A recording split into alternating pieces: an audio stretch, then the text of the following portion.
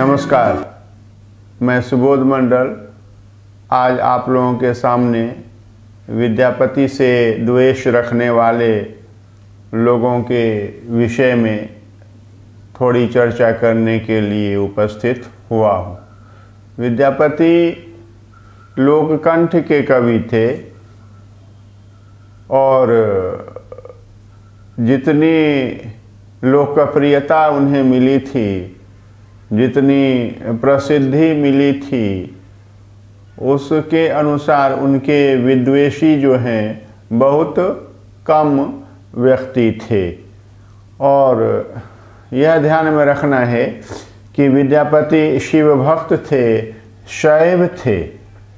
और शिव का भजन गाते गाते जो है, विद्यापति भावावेश में आकर के नाचने भी लग जाते थे। इसीलिए उनके विद्वेषी जो हैं, विद्यापति को नर्तक कहा करते थे, नर्तक कहकर चिढ़ाया करते थे। उनके सबसे बड़े विद्वेषी जो हैं, पंडित केशव मिश्र हुए। पंडित केशव मिश्र विद्यापति से लगभग 100 साल बाद हुए थे और उन्होंने जो है द्वैत परिशिष्ट नाम की पुस्तक की रचना की थी।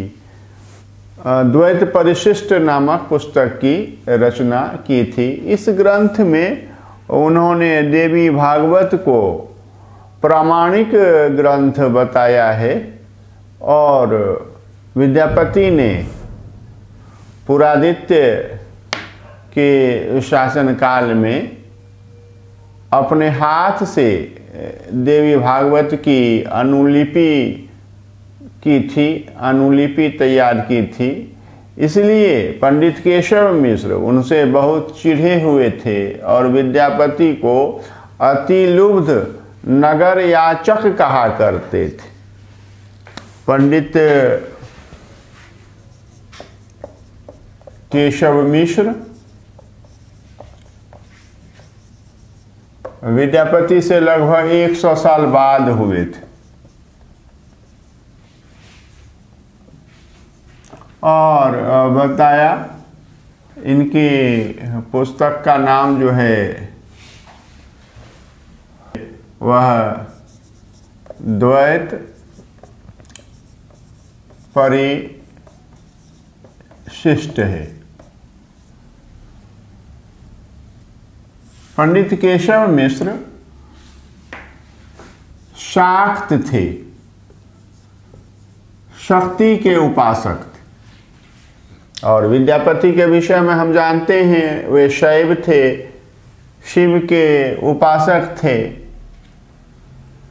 और विद्यापति ने पुरादित्य के शासनकाल में, नेपाल की तराई में रहते हुए देवी भागवत।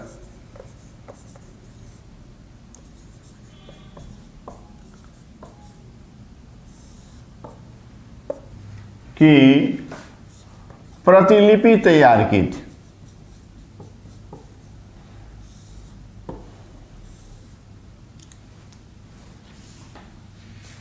अनुलिपि तैयार की थी।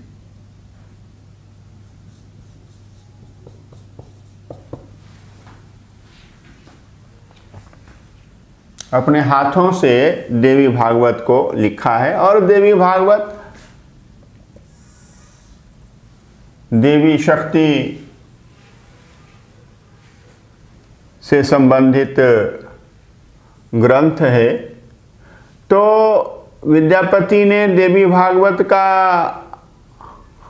अनुलेखन जो है अपने हाथों से किया था। इस कारण से पंडित केशव मिश्र शाक्त होने के कारण चिढ़े हुए थे और विद्यापति को अतिलुब्ध अतिलुब्ध नगर याचक कहा करते थे।